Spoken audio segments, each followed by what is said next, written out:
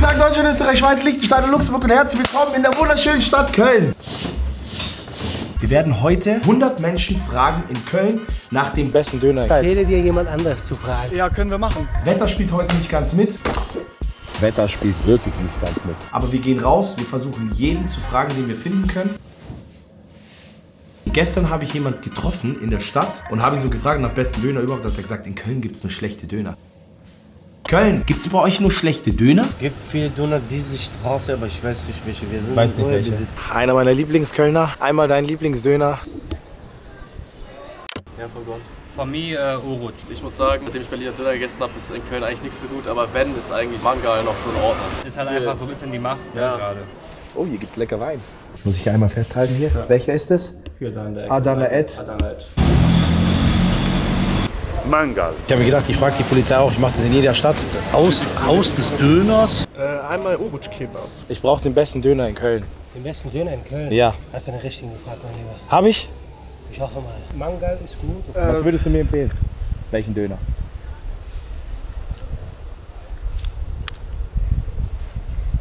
Mehmet. Ich empfehle dir jemand anderes zu fragen.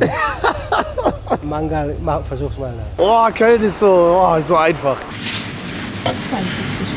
Mein Lieblingsdöner in Köln ist Haus des Döners. Sind Sie aus Köln? Den, den Mangal ist ja der Poldi-Döner. Ne? Ja. Den, das kann man ja mal probieren. Mach ich. Wie heißt der nochmal? Kuderet. Kudret. Das sieht super aus. Mehmet. Tasty Döner. Musst du auf jeden Fall hingehen. Da gibt es auch verschiedene Döner. Auch so ein Burger-Style und die sind beide geil. Die Taxifahrer müssten das ja eigentlich am besten wissen, oder? Der ist so ein bisschen so in dieser Ecke drin. Das ist der beste offiziell, oder was? Adana Ed. Ja, ja, ich glaube der Adana Ed. Wir sind doch da, würde Osan sagen. Wenn du mich fragst, wenn du hier reingehst, links, Wie heißt der? äh, der ist in diesem türkischen Supermarkt drinne. Also da haben wir es auf jeden Fall. Lieferando hat Adana Ed zum besten Döner Deutschlands gewählt. Deine Empfehlung war welche? Auch Adana Ah, auch Adana Ed. Herzlich willkommen in Köln-Mühlheim. Kolbstraße, Ladies and Gentlemen. Der beste Döner von Köln sagt man ja über Mevlana. Pablos Döner. Pablos Döner? Ja. Wo ist der? Hier auch? Hier in Mühle. Hast du eine Empfehlung für mich? Danke. Hast du eine? Ja, ja. Welche ist es? Bester Döner. Döner? Mevlana. Wenn man nur aufs Fleisch geht, dann Mevlana, ja. Mevlana? Kudret? Mevlana. Mevlana? En güzel döner In nerede? Köln, ja. Ha, Köln'de. Bana göre eee şeyde yani Mevlana diyorum. Kommt man hier mit Türkisch weiter, oder was? Als mit Deutsch. Wir sind wirklich in Istanbul. Musst du integrieren, Bro. Libi-Döner, der ist in Bahnhof Mülheim. Yaprak-Döner essen willst, ohne Ja. viel Soße, nur das Fleisch machen willst, geh Mevlana. Was sagst du? Döner muss ich essen. Ja, ist der Beste? Ja, türkische Pizza, Kilim. Ja, der ist zuverlässig, oder? Solide. Haus des Döners. Der beste Döner? Dein Lieblingsdöner reicht auch. Oder der beste Döner? Döner ist so meins, aber Kebabland ist, glaube ich. Neumarkt. Neumarkt? Glatt. Wie heißt der? Das weiß ich jetzt, das weiß ich jetzt nicht. Gerade frisch vom Se- Friseur, gell? Ich Ja, seh das. ja, das ist dein Moment jetzt. Zwei Moment. Sana to go in Kalk ist auch äh, Döner Game Days. Äh. Das Fleisch echt gut. Haus des Döners. Hier, der ist das. Ist das der? Nee, war? Ja, das ist der. Äh, nee, war es auch gut. Aber Okay. Der ist super, da Danke euch. hingehen. Gall ist, glaube ich, immer Mangal? der beste. Früher hieß der Ali. Lieblingsdöner in Köln, der beste Döner. Kolbstraße, Mevlana, den mittleren Spieß. Also, welchen Döner würdest du mir empfehlen? Ich würde Alice Döner hier auf dem Ehrenfeld empfehlen. Alis Döner gleich hier. Äh, Uruc-Döner, auf jeden Fall. Ja, oder Poldi-Döner. Es gibt einen Döner, der ist so nur mittwochs und der ist in einer Lagerhalle, so man muss da reingehen und so. Der ist zwar klein, bestellt zwei, aber der ist mit der beste, den ich hier gegessen habe. So Oldschool-Döner. Ich kann dir einen empfehlen, den haben wir letztens gegessen. Japrak, ne? Ein Japrak-Döner und ein Ayran für 5 Euro. Auch wenn ich traurigerweise als Wahlkölner sagen muss, dass es hier nicht die besten Döner gibt. Aber den kann ich dir sehr ans Herz legen. Herzlich willkommen vor Platz 3. Adana Ed mit neun Stimmen. Wir schauen uns das Ganze jetzt an. Ich glaube, das wird eine sehr, sehr leckere Angelegenheit. Adana Ed soll offiziell der beste Döner in Köln sein oder in Deutschland. Bester Döner in Deutschland? Wir sind da. Salam alaikum. Alaikum assalam, Wie geht's, Abi?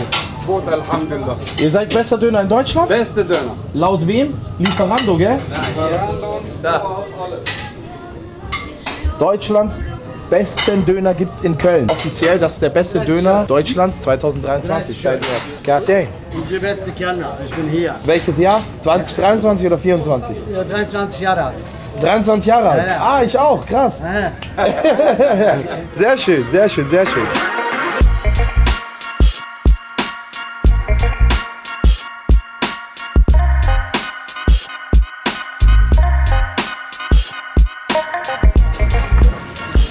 Größter Döner für 7,50 Euro mit Ansage. Brot, fluffig, viel Gemüse. Ich beiß mal hier rein, dann haben wir auch direkt Fleisch.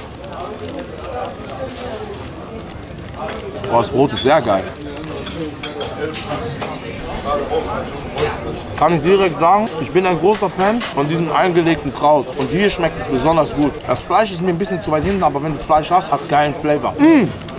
Köln. Wer sagt in Köln gibt keinen guten Döner? Ja, jeder Einzelne, den ich gefragt habe auf dieser Tour, der gesagt hat, "Mm, es gibt keinen guten Döner hier. Schaut dieses Video, probiert diese Döner, die ihr jetzt gleich sehen werdet. Platz 2, weiß ich noch nicht, wie geil der wird, aber Platz 1 bin ich mir sicher, das ist schon wieder so ein Feeling, das ich habe, dass das ein Banger sein wird. Vertraut Randy, vertraut Randy. Mm. Das auch wiegt, ne? Ja, ja, ja. Geil. Wie immer. Brot schön knusprig, innen fluffig. Also Fleisch hat super Röstaromen. Gemüse, super frisch. Der Biss, super. Konstruktion, super. Leute, wie in Köln gibt es keine guten Döner. Der ist super. Das ist auch gut, dass ich hier einen Local dabei habe. Versteht ihr? Brot hat sich schön vollgesaugt mit dem Juice vom, vom Fleisch. Schaut mal. Hier, das ist, das ist crunchy. Oder by the way, guck mal, wie voll der Laden ist. Es ist ein stinknormaler Mittwoch. Guck dir mal den Betrieb hier an. Mhm, super würde Arda sagen. Wir sehen uns bei Spot Nummer 2 mit dem Namen Mangal Döner. Ladies and Gentlemen, diese ganze Straße gehört auch Mangal. Es gibt Mangal Gemüsekebab, Mangal Baklava, Mangal Burger, Mangal Döner. Das ist die Mangal Straße. Vorne auch noch Lamajun. Gibt's Auch Mangal? Auch Mangal. Haben die auch Mangal Pizzeria noch? Nein. Das nicht. Wie geht's, wie steht's? Sehr gut. Ich will nur mal eine Sache sagen, bevor wir den essen gehen. An alle Leute, die gesagt haben, hier gibt's keinen guten Döner und so. Geht mal zu Platz 3, den ich euch bis jetzt genannt habe, okay? Platz 3 und probiert diesen Döner. Wenn ihr danach immer noch sagt, in Köln gibt's keinen Döner, hab ich keine Ahnung von Döner. Salam alaikum, Abi. Wie geht's? Alles klar. Ja? Alles okay. Wir sind heute hier, um deinen Döner zu probieren. Ja, wird schön. Ja, wir haben 100 Menschen gefragt Ja. und äh, 14 Leute davon oder 15 haben gesagt, ihr habt den besten Döner. Wirklich? Ja? Vielen Dank. Freut mich sehr. Was ist das Hackfleischspieß? Ja, ein bisschen. Äh, ist das gemischt? Lamm und, oder was ist das für Fleisch? Ist nur, nur, nur, nur Kalb. Nur Kalb? Dann äh, hätten wir gerne einen Döner, Alles klar. so wie er sein muss.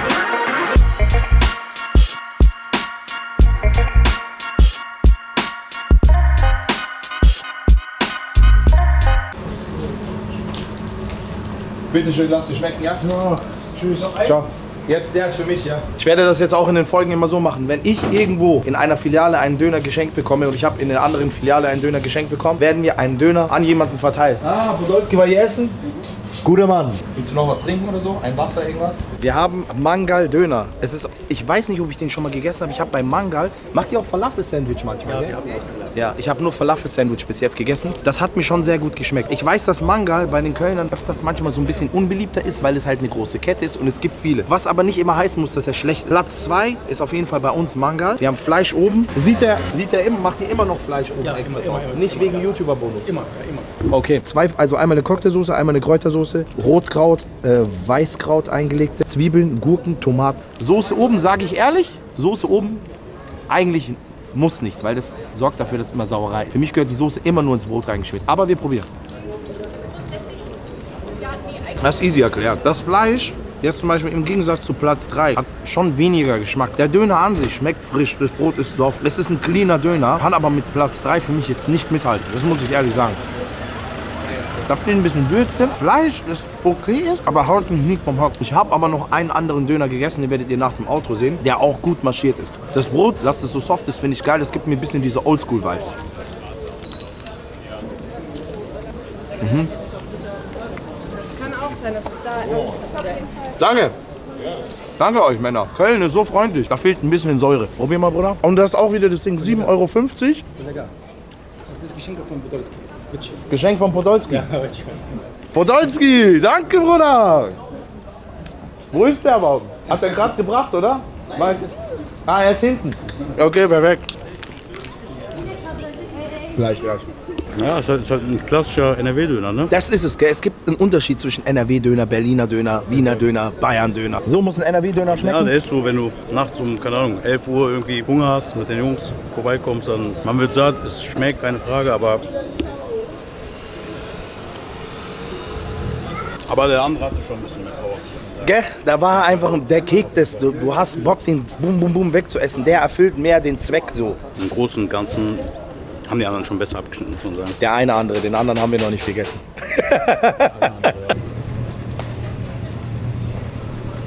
Und soll's sein Eiern. Er hat gerade gebracht, hast du ihn gesehen? Ja. Ich habe ihn leider verpasst. Der kam live aus Dings, vom Kran aus hier. Ayran schmeckt sauber, muss man sagen. Ja? Auf jeden Fall. Ich mag den ein bisschen dickflüssiger. So im Großen und Ganzen. Aber wir sehen uns bei Spot Nummer 3.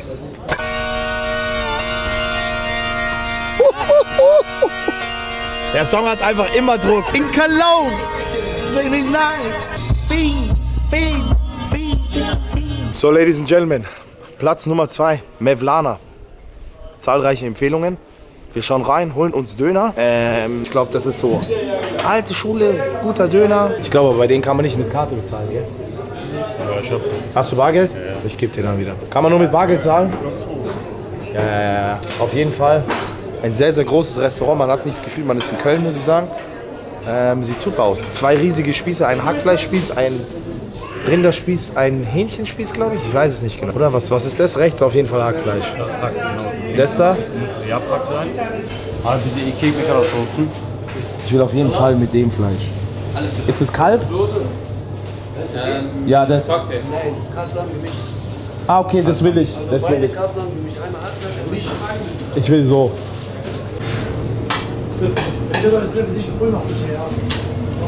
Ich schneide einfach noch mit Messer. Den, ganzen Spieß schneidest du mit Messer runter? Ja. Macht ihr das für euch? Für YouTube. Für YouTube. Das oder? Herr Schiller. Ja, schmecken lassen, ja? Ja, wir auch. Danke. Ich will auf jeden Fall hier draußen essen. Also das ist auf jeden Fall eine sehr berühmte Straße, Kolbstraße. Ihr habt, glaube ich, gerade den Vibe auch gemerkt. Ähm, das waren auf jeden Fall die größten Spieße, die ich gesehen habe. Wir haben hier diese zwei Döner in der Hand, fühlen sich sehr oldschool an mit diesem weichen Brot. Wir suchen uns jetzt nur ein nettes Plätzchen, wo wir die essen können. Das ist eigentlich der bekannteste hier. Bükaran Doi Doi. Das ist der größte hier auch. Okay, okay. Ich habe den Namen vergessen, Mevlana. Mevlana. Das ist auf jeden Fall das softeste Brot, das ich hier hatte. Wie er auch das Fleisch da draufgelegt hat, hat mir sehr gefallen. Das sieht schon fast aus wie ein Döner-Sandwich. So. so stellt man sich einen Döner vor, so classic. Brot super soft, Fleisch super clean. Der gibt mir so ein bisschen Vibes, dass es so der klassischste Döner ist, den du kriegen kannst in Köln. So würde ich dir sagen, auch wenn ich erst fünf Döner vielleicht in Köln gegessen habe.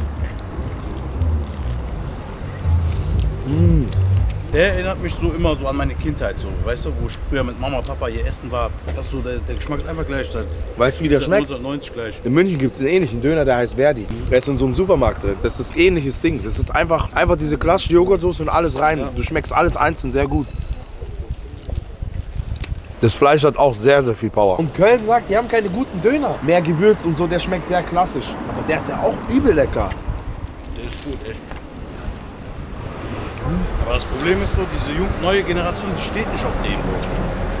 Weil sie sind es gewohnt mit so verschiedenen Soßen, dies, das, ne? Ja, das ist oldschool. Ja, genau. Aber schmeckt unfassbar lecker.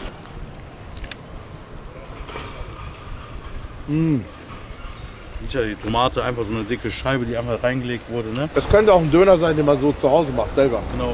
Weißt du, wie ich meine? Ja. Und so schmeckt er. Zwiebeln geil. Also, ich finde, das Fleisch ist auf jeden Fall, was mir beim Döner immer am wichtigsten ist, dass du das Fleisch am stärksten schmeckst. Das ist auf jeden Fall der Fall. Und der Rest harmoniert alles top. Ich kann nicht sagen über den Döner. Ich kann jetzt nicht sagen, boah, den würde ich. Also, das gefällt mir nicht. Das gefällt mir nicht. Der schmeckt mir auf Das jeden Ding ist hier, du kannst, egal um welche Uhrzeit kommen, du hast immer, immer denselben Döner gefühlt in der Hand. Einfach, weißt du? Ich finde den sogar ein bisschen besser. Der schmeckt ein bisschen klassischer, traditioneller. Das ist ein traditioneller Döner. Wer den noch nicht probiert hat in Köln und sagt, dass es keine guten Döner in Köln gibt, einfach mal den Mund halten. Aber genau deswegen drehen wir hier dieses Format. Ja, und viele würden sagen, der ist zu brotig. Das ist schon heftig viel Brot, aber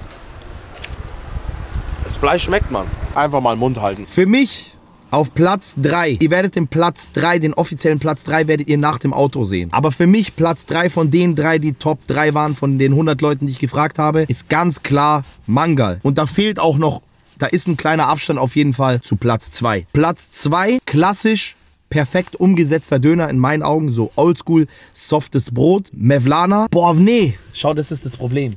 Ich weiß gar nicht. Doch, Platz 2 Mevlana. Doch, Platz 2 Mevlana. Und Platz 1 Adanaet. Obwohl ich sagen muss, dass das Fleisch ein bisschen geiler sogar geschmeckt hat bei Mevlana. Aber der gesamte Döner an sich war ein bisschen besser. Und da rede ich minimaler Unterschied. Adanaet. Das ist meine Rangliste für euch. Letzten Worte hast du, mein Bruder. Ja, im Gesamtpaket, meiner Meinung nach auch, wie von Anfang an gesagt, Adanaid ist meiner Meinung nach der beste hier. Lasst auf jeden Fall ein Like da. Ich habe gesehen, es haben über 60, 50, 70 Prozent, ich weiß nicht genau, auch den Kanal noch nicht abonniert. Das heißt, ihr könntet gerne ein Abo da lassen, es kostet gar nichts. Kuss geht raus an jeden Einzelnen. Danke für den Support und wir sehen uns beim nächsten Mal.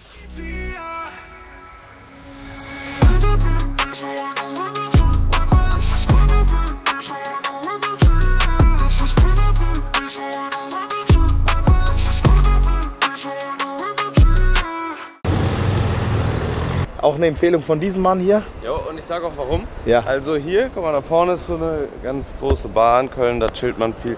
Hier ist ein Club, belgisches Viertel, generell viel los immer. Und ich schwöre auf meine Mutter, ich habe noch nie erlebt, dass die Jungs nicht parat waren. Okay. also egal um welche Uhrzeit. Okay. Und ich glaube jetzt so Brot auch selbst gebacken und so, aber ist eigentlich egal. So und dann um die Uhrzeit manchmal auch. Aber die Jungs sind immer parat. Und er ist der Chef. Grüß dich, Chef. Wie geht's euch? Gut geht's mir. Wie geht's dir? Alles gut.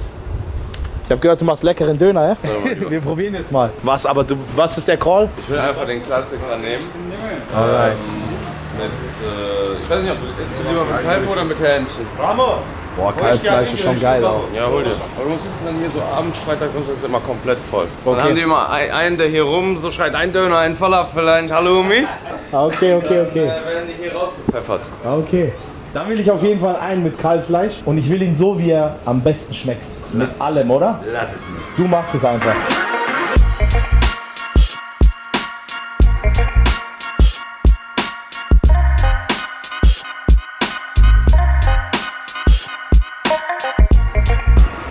Schau mal das hier. Sieht super aus. Sieht super aus, ich sagen. Lecker ist er auch. Lecker ist er auch. Döner Nummer 3. Oder besser gesagt, boah, ey. Schon, ich würde sogar so weit gehen, dass ich nicht mal Kamera bringen. Ich wollte gerade fragen. Wenn es jetzt so 4 Uhr nachts ist oder so, dann kriegst du einfach sowas. Aber wenn du so jetzt so mittags hier ein Essen gehst, dann würde ich Sieht sagen, solide aus, oder? Das Brot ist auch, muss ich ehrlich sagen, das ist crunchy. Ich habe noch nie so ein knuspriges Brot gehabt. Ich weiß nicht, ich glaube, die backen das selbst. Ich habe es gerade gesehen, Bro. Ach so, er hat gerade seine Technik da gemacht. Ach so. Okay, ich freue mich auf den ersten Biss. Ich habe mich komplett versaut, aber ich kann nach dem ersten Biss sagen, man kann nicht viel haten an dem Döner. Ehrlich nicht. Der ist wirklich unhatebar, ja. Es ist jetzt nicht so wie Fair hat oder so, ne? Aber Nee, Bro. ist auch nicht der Anspruch. Und Genau. Also ich finde den, also ich, ich habe schon mal gehört, dass Leute sagen, man kann den nur so nach dem Feiern essen. Ich finde, man kann den auch sehr straight mittags essen. Der ist für nach dem Feiern ist ein bisschen zu lecker, Ja, ja. weil du checkst ja gar nicht mehr. Du weißt selber, in Ja, was für. Modus du in diesen Döner beißt. Brot ist geil, ist ein bisschen knuspriger als normal. Käse hat er auch nur dezent rein, finde ich geil, scharf, scharf kickt. Salat, Zwiebeln, alles on point, schön frisch, kühl, Fleisch hat Power. Kölner sagen, ihr habt keinen guten Döner hier? Eigentlich NRW-Döner unterscheidet sich halt von so Berlin-Döner schon heftig. Aber ich sage ehrlich, ich feiere NRW-Döner eh mehr. Weißt du, was die meisten Leute gesagt haben? Die Was? haben gesagt, Bro, seit ich in Berlin Döner gegessen habe, mag ich die hier nicht mehr. Und es check ich. Iss halt den Döner, den du hier hast und genießt den. Und in Berlin isst du den, den du da hast. Die Leute denken auch bei Fairhard, das dreht dir die Zunge zehnmal um. Nein, du hast einfach geiles Fleisch und frisches Gemüse und geiles Brot. Der liegt auch gut in der Hand. Der macht auch Spaß. Jetzt sei ehrlich. Das ist ein solides Ding. Super Teil. Jeder, der da reinbeißt, wird glücklich sein. Solide. Top. Also am Ende des Tages hat er den Döner so belegt, wie es sich gehört, wo es im ersten Biss Fleisch und Gemüse gab. Soll ein paar Servietten noch haben? Abid, sehr lecker. Ehrlich, super. Seit wann gibt's euch? Zehn Jahre. Okay. Woher seid ihr aus der Türkei? Ich war in Gaziantep, ja. Also vom, für mich das beste Essen in der Türkei. Und ich war jetzt schon dreimal dort. Ich fliege in zwei Monaten fliege ich wieder. Einer meiner besten Freunde lebt dort, ja. Gaziantep, sehr schön.